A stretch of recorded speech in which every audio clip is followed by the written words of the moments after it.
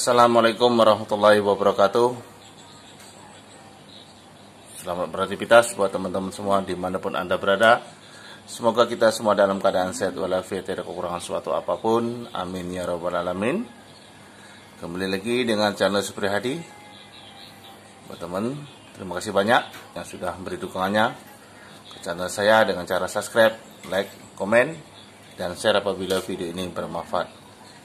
Oke, Kali ini saya akan berbagi pengalaman atau tutorial cara menangani salon politron uh, berdenyut atau berdecit, tegangan tidak normal, tidak normal ya.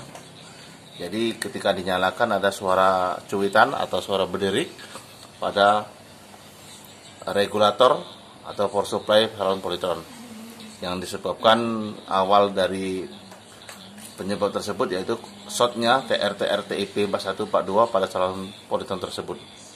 Nah, di depan saya ini ya itu uh, unitnya ya teman-teman.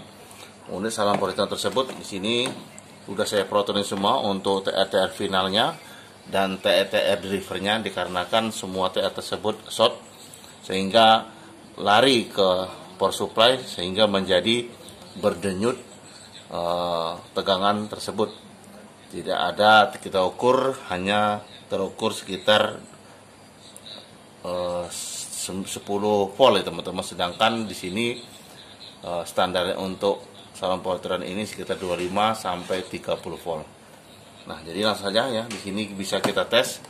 Di sini saya menggunakan skala 50 meter saya. Dan di sini juga kita bisa nanti kita coba tegangannya teman-teman ya. Coba diperhatikan uh, simak bareng-bareng teman-teman. Sekali lagi. Uh, buat senior abaikan saja. Ini khususnya buat pemula. Langsung saja kita coba untuk kita ukur untuk tegangan yang tadi sudah saya sebutkan yaitu untuk tegangan tidak mencapai 25 sampai 30 volt. Hanya terukur kurang lebih 10 sampai 15 volt. Jadi sini purple warna hitam saya tempelkan di ground elko dan sedangkan purple warna merah saya tempelkan di plus seperti ini teman-teman Coba perhatikan teman ya, kita nyalakan. Bismillahirrahmanirrahim, ya, kita nyalakan. Ya, bentar. bentar saya tempel saja di sini.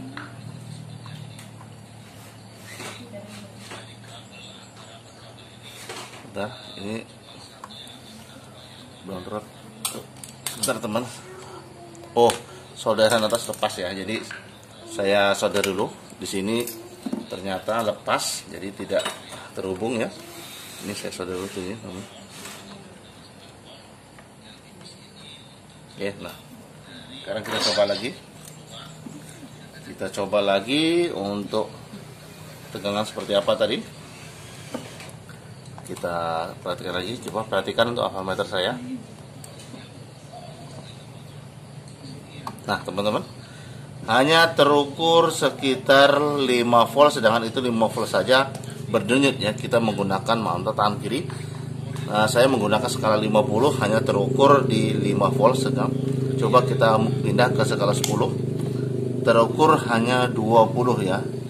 Berarti kurang lebih 10 volt sini teman teman ini. Seperti ini pergerakannya jadi berdenyut ya. Jadi sedangkan untuk ini sedangkan yang kita tes tadi plusnya teman ya. Nih plusnya seperti ini dan kita tesnya untuk minnya seperti ini juga. Nah berdenyut juga teman ya. Oke? Nah di sini uh, penyebabnya awal setelah kita bongkar kita open untuk TRTRTP 4142 nya ternyata tegangannya tidak normal hanya berdenyut.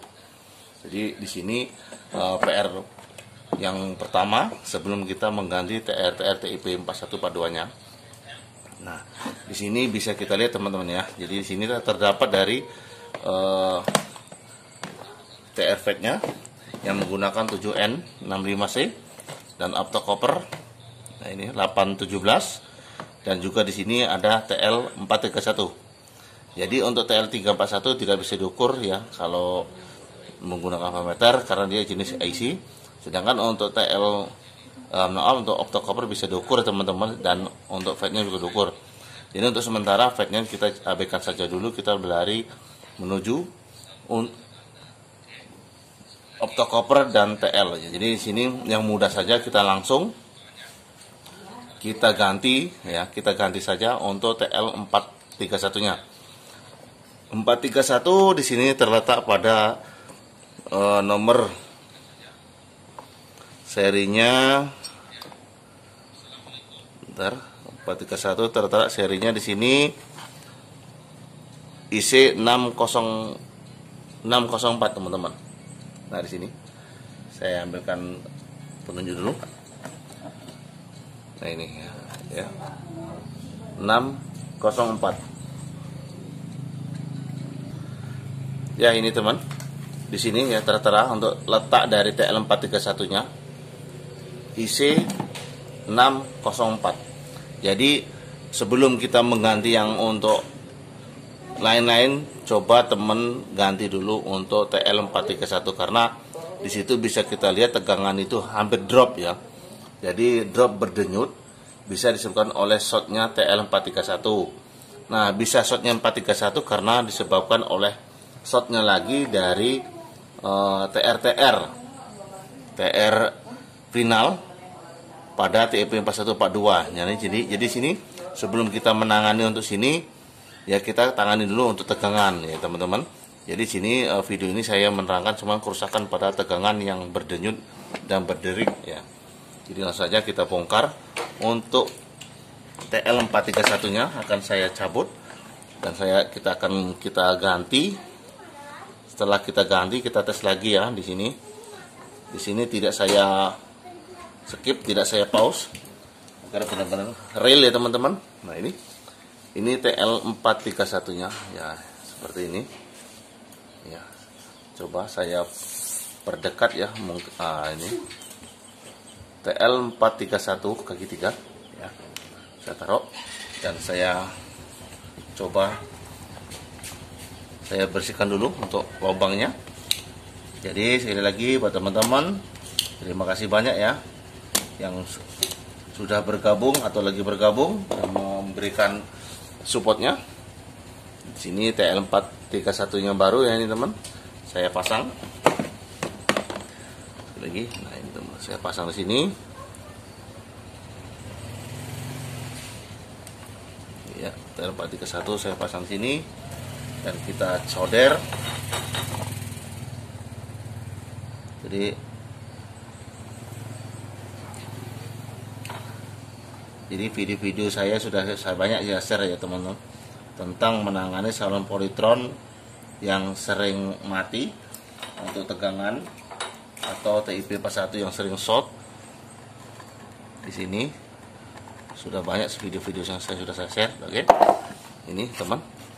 Sudah saya pasang TL431 nya sekarang kita coba uh, ulang lagi kita tes.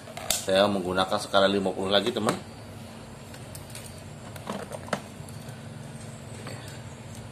Oke, kita nyalakan teman. Kita tes lagi untuk tegangan di sini saya masih ya ini ya. Coba perhatikan. Bismillahirrahmanirrahim.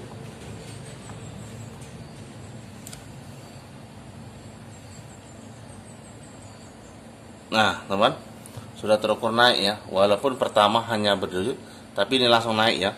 Di sini terukur eh, 28 volt ya. Hampir ya taruhlah 30 teman ya. Nah ini. Sini. Tadi kan cuman terukur 5 sampai 10 volt. Sekarang udah naik tuh teman. Lihat tuh. Nah tidak berdenyut lagi. Dan di sini untuk ini juga udah terukur sama ya. Nah oke. Okay. jadi kurang lebih seperti itu teman ya. Jadi sebelum kita untuk mengganti yang lain-lain kita cek dulu untuk tegangan dan setelah tegangan itu normal ya tidak bias jadi bisa kita tangani untuk TRTR finalnya. Jadi sekali lagi ini penyebab dari denyutnya berdenyut tegangan yaitu disebabkan oleh TL431 yang short ya. Ya pertama shortnya bisa TL431 disebabkan oleh TRTR final TIP 4142 yang short. Jadi uh, strum tegangan atau mengulang ya mengakibatkan TL tersebut bisa menjadi mati. Jadi kurang lebih seperti itu. Uh, apabila dalam penyampaian penyampaian dan video kurang pas saya mohon, saya mohon maaf. Dan saya akhiri. Wabillahi taufik walhidayah wassalamualaikum warahmatullahi wabarakatuh